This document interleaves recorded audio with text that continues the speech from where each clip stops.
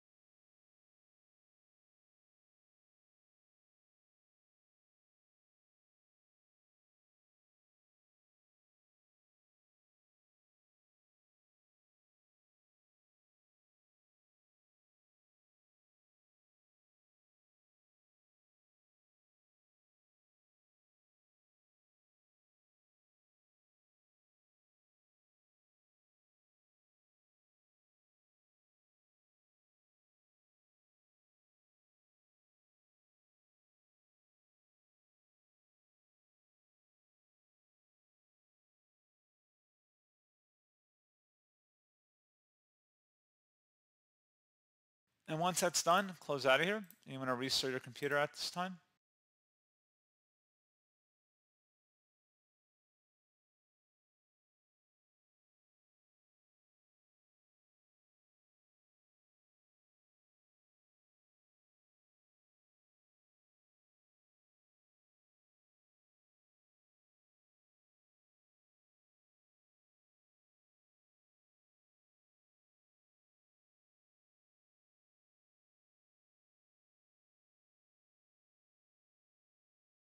And there you go, guys. So hopefully this point issue should have been resolved. And as always, thank you for watching. I do hope I was able to help you out, and I do look forward to catching you all in the next tutorial.